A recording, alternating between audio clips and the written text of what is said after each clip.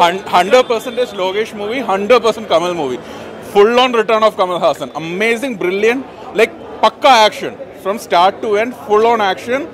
You, I mean, dekhne like puri tarah. It's completely worth the watch. Amazing movie. It's a Lokesh cinematic universe. Watch Kaithi before watching this and wait for all his other movies coming up. Climax, Surya sir and Karthik sir. Surya's la- uh, Surya's last uh, that whole piece of around five to ten minutes. It's amazing. You you will see like why Surya is Nadippin Nayagan. He just rocks it. Like you, you can't expect him to do such a thing, and in that scene, and he just completely owns the scene. And like how it is going to progress, it's going to be amazing. The next uh, Vikram three or whatever it is, it's going to be brilliant. What's the highlights in movie?